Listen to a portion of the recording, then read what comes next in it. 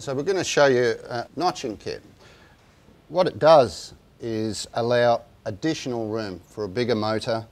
It also creates a, a unique sort of benefit of additional cooling. You might be surprised at this.